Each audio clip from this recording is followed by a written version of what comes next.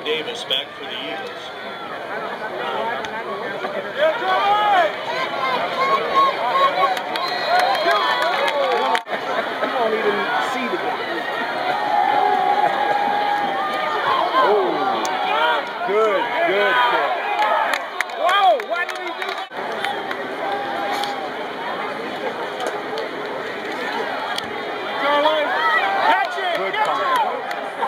Die, die right there. Ow.